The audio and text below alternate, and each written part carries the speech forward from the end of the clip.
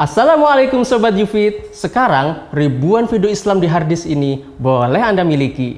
Mau? Hubungi kami sekarang ya. Kami tunggu ya.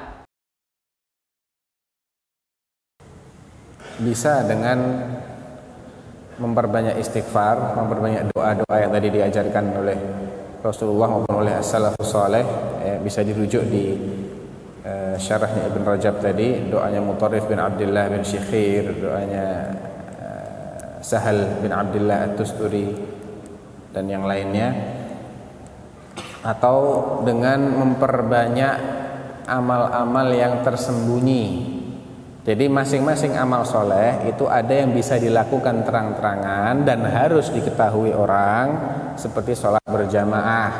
Ini syiar. Tidak boleh seorang beralasan, waduh saya nggak mau ke masjid lah. Kenapa? Takut riak. Nggak bisa ini. Ini syiar. Justru kalau kamu nggak ke masjid dianggap munafik nanti. Karena kebiasaan orang munafik itu. Ya.